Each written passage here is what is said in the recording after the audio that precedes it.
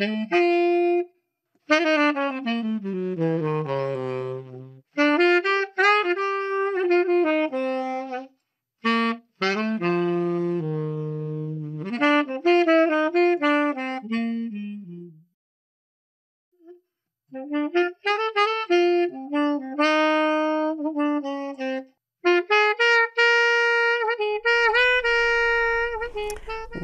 today we have a very interesting story because the grandchildren all loved Galisteo and he loved them.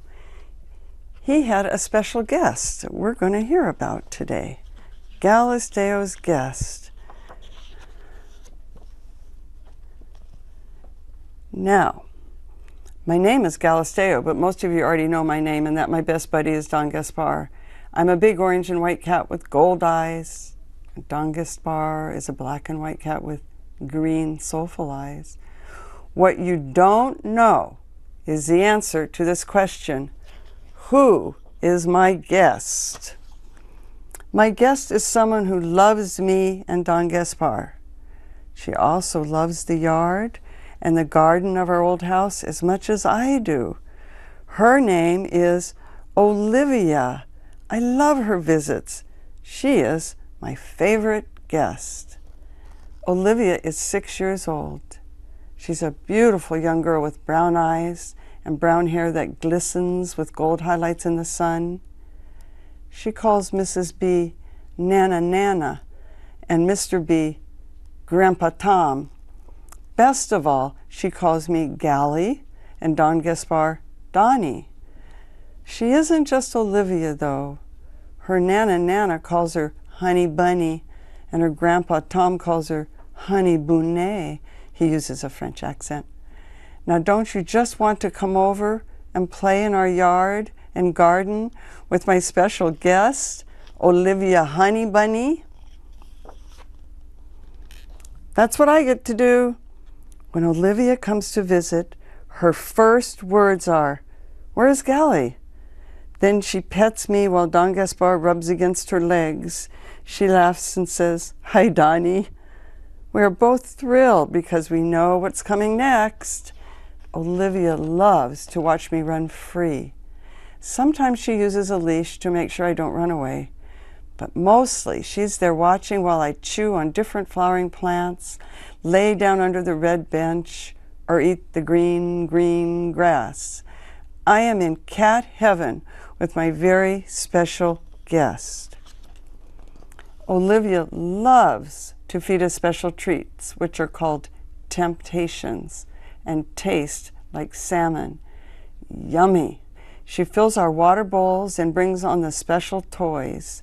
She throws out colorful birds and brown mice, all filled with catnip. We run and jump all over the yard and garden, batting and chasing the toys. She just laughs and claps and runs after us. Olivia also takes me into the basement to play. Don Gaspar loves to sleep in the basement, but when Olivia and I go there, he comes in and we run all around. We hide behind the boxes that are stored in a big dark room. We climb on the heater and air conditioning ducts. We play under the enclosed porch and peer out at the yard. It's just like being in a jungle. We also play in the garage.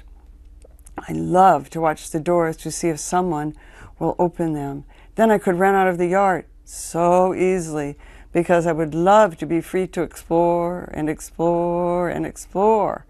That's what got me into trouble before and why I have to stay indoors. I got grounded because I wandered off. I went to the library, the courthouse, Burger King, all without the B's knowing where I was. In fact, I was called Rascal before the B's rescued me from the animal shelter, and sometimes I still do behave like a rascal.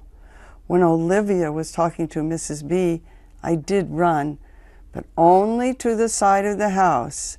I hid behind the big oak tree, but Mrs. B found me. I just wanted to tease them. I would miss Olivia too much to risk getting lost again.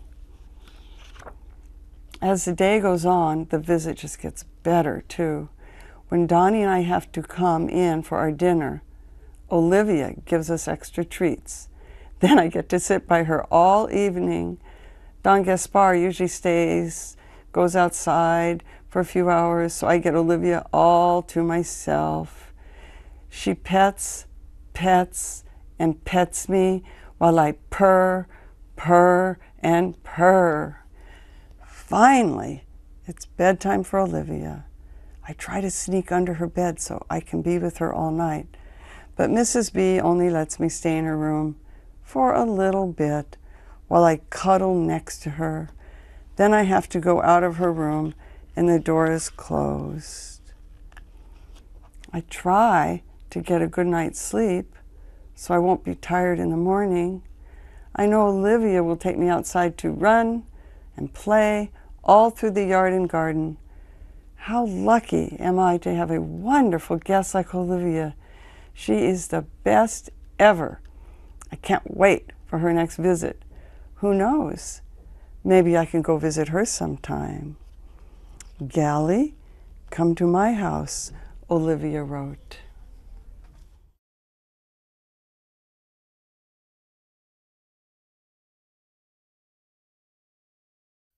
Thank you.